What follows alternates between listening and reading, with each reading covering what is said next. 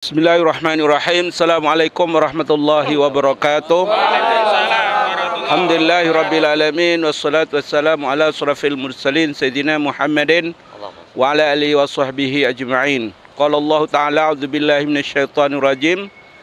Dhaharal fasadu dhaharal fasadu fil bahri wal bahri bima kasabat aydin nas liyudhiqahum ba'dal ladzi amilu la'allahum yarji'un.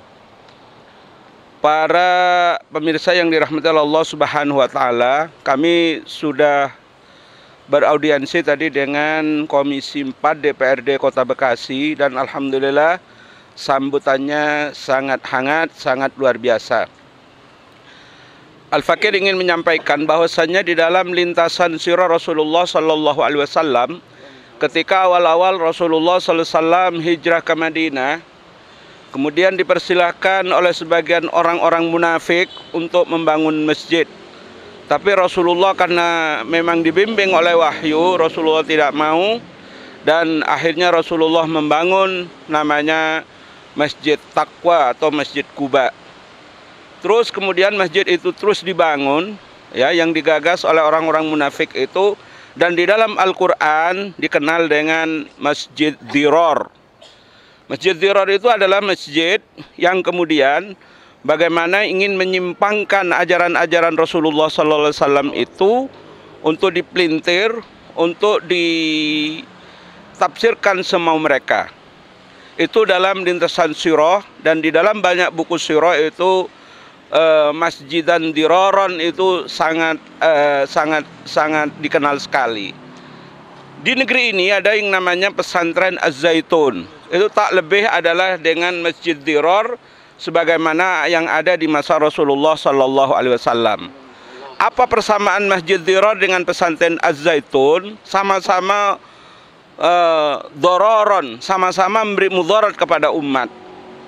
Di mana ya biasa sudah kita dengar dari dulu itu ada istilah darmaji dahar lima ngaku siji kan nah, gitu. ya. Ya kalau masuk warung ngambil gorengan lima ngakunya ditanya teman tukang warungnya siji satu aja. Pengalaman pribadi. Enggak juga sih. Artinya itu yang kecil. Dan yang sebagainya dan sebagainya insyaallah itu sudah ma'rumun minadzin bid darurah. Bagaimana pembantu nyolong duit melajikannya gimana anak mahasiswa nyolong punya orang tuanya dan sebagainya itu gara-gara binaan dari Az-Zaitun KW9 ya sama dengan Masjid Diror yang dibangun oleh orang-orang munafik di era Rasulullah Shallallahu Alaihi Wasallam.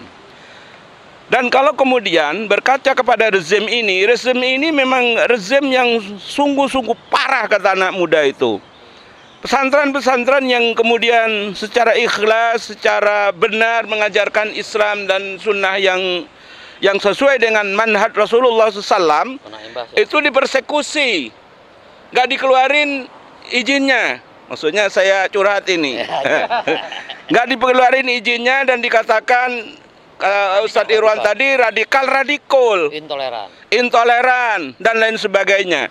Ini memang rejim bejat ini. Mas jadi orang bejat kalau ketemu bejat ya sama. Bagaikan tumbuh ketemu tutup, plak gitu. Rezim Jokowi ketemu dengan Azaitun, plak itu sama. Ya. Jadi sampai kapan?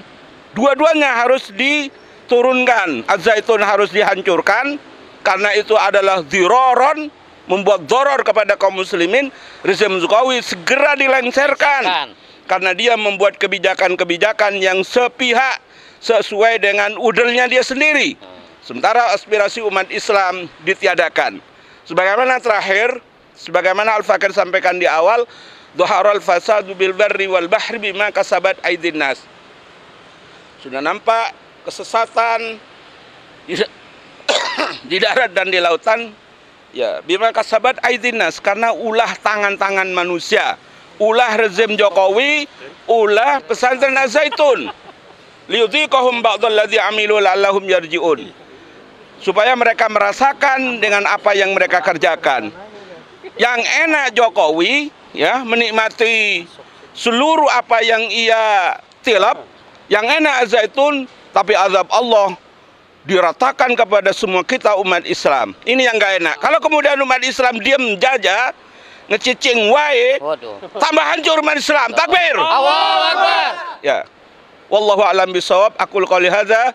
Assalamualaikum warahmatullahi wabarakatuh.